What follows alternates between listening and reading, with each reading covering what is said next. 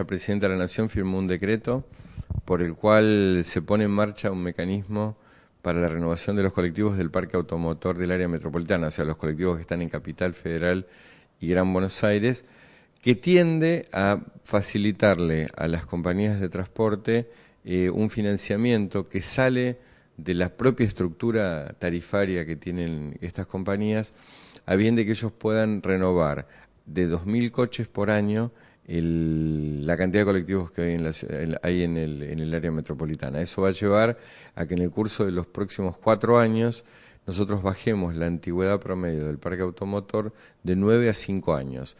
estando en un estándar que es compatible con el grado de inversión que hace el Estado en los colectivos y es compatible con esta red que es la tercera red del mundo en términos de, extensión y de cantidad de colectivos. Los colectivos que salen, salen con el SUBE incorporado, o sea, con la tarjeta incorporada,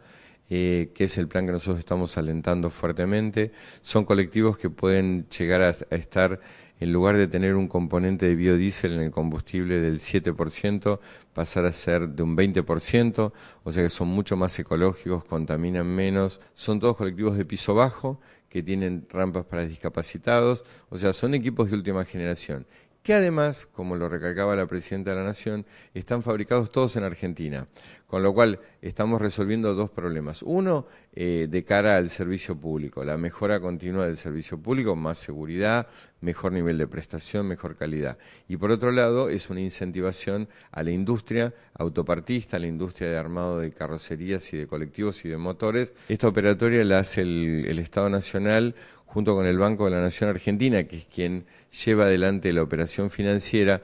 pero no descartamos la posibilidad de que haya bancos provinciales o algunos bancos del interior que puedan usar el mismo mecanismo para resolver también los problemas del parque automotor en el interior, pese a que debemos aclarar que en el interior de la República Argentina los colectivos son más modernos que en la capital. Este programa, este proceso de mejora continua en todos los sistemas de transporte se. Mejoramos los colectivos, le mejoramos la calidad, hemos puesto muchos recursos en la aviación para que tengamos aviones de alta calidad en aerolíneas argentinas y también estamos poniendo recursos, sobre todo en el interior del país, para recuperar vías, estaciones y sistemas ferroviarios tanto de cargas como de pasajeros. Y estamos revirtiendo, como decía ayer la presidenta, un poco la historia por la cual desde hace muchos años parecía que estábamos combinados a no tener trenes y a tener una menor integración para tener trenes y conectarnos de una manera mejor y más cómoda con el resto del país.